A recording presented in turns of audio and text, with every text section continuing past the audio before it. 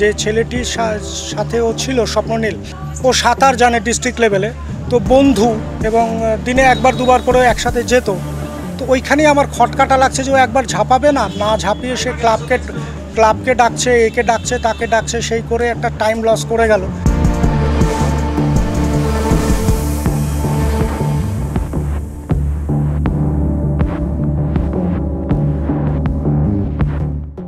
জলে ডুবে নয়, খুন করা হয়েছে তাদের ছেলেকে।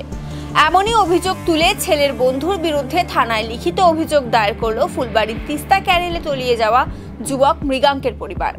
ইতিমধ্যেই পরিবারের অভিযোগের ভিত্তিতে মৃগাঙ্কের বন্ধু স্বপ্ননীল নন্দীকে গ্রেফতার করেছে এনজিপি থানার পুলিশ।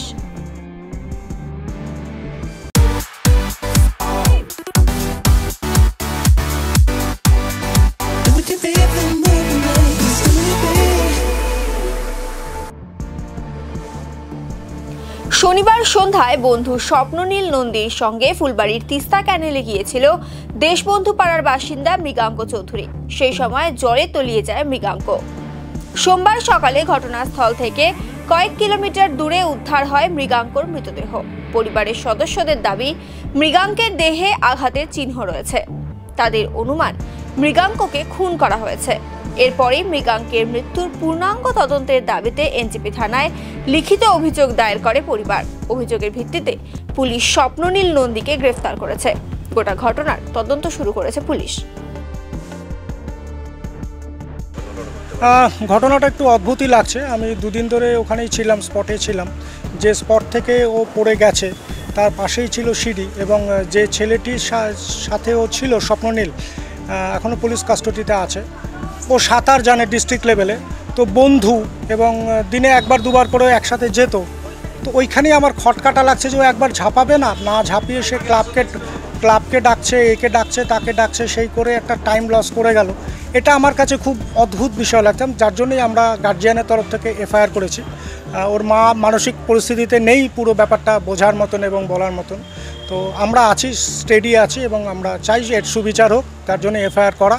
এবং এই কতগুলো ব্যাপার এবং যেটা ক্ষতচিহ্নগুলো দেখলাম সেটা একটা আরও একটি অদ্ভুত লাগছে যে এতদিন প্রায় আটচল্লিশ ঘণ্টা জলের তলে ছিল অনেকটা দূরই সাত আট কিলোমিটার পেরিয়ে গিয়ে তাকে পাওয়া গেল আজকে সাড়ে আটটা পৌনে নটায়।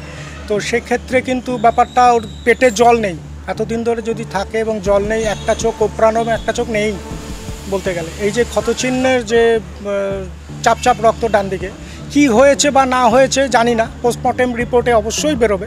আমরা পোস্টমর্টেম রিপোর্টের জন্য অপেক্ষা করব। কিন্তু অ্যাপারেন্টলি মনে হচ্ছে ব্যাপারটা একটা খুব রহস্যজনক ব্যাপার হচ্ছে এবং সবথেকে রহস্যজনক যে সাঁতার জানতো, যে এতদিনের বন্ধু, যে এত পারিবারিক বন্ধু সে ঝাঁপালো না কেন? পাশে সিঁড়ি আছে, সে ঝাঁপালো না কেন? এটাই হচ্ছে আমার মেইন পয়েন্ট বাকিটা তো পোস্টমর্টেম বলবে।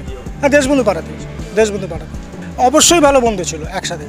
না সেরকম কিছু শুনিনি। আমরা সেরকম কিছু শুনিনি বা তাদের পরিবারের বাবা মা তাদের পক্ষ থেকেও সেরকম কিছু এখন পর্যন্ত জানি না বা শোনা হয়নি।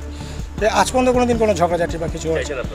আমরা চাইছি ব্যাপারটা সুবিচার হোক যেটা এফআইআর করেছি পুরো মানে ঘটনাটার সত্যটা সামনে আসুক এবং স্বপ্ননীল স্টেটমেন্ট দিক আসল যে ব্যাপারটা কী ঘটেছিল এখনও স্টেটমেন্ট দেয়নি বা আমরা জানি না এবং ও স্পটেও যায়নি বা স্পটে নিয়ে যাওয়াও হয়নি ওকে। তো যাওয়া যে জানানো হোক যে কী ঘটনাটা আমরা সবাই জানতে চাইছি শিলিগুড়ির মানুষ। पचास हज़ार लोगों को अपनी मंजिल से है जोड़ा। और नई उत्साह के साथ आए हैं फिर से थामने आपका हाथ। श्री शांति होंडा।